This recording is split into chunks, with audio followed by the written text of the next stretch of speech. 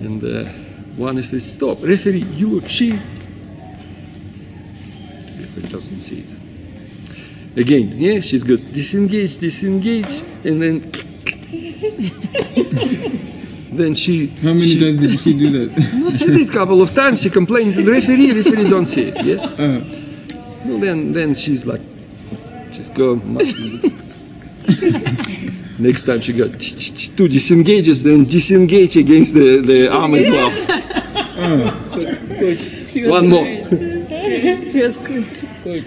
So in that situation, that the athlete is complaining to the ref and the referee can't see it. You can request. Okay. Corner judges.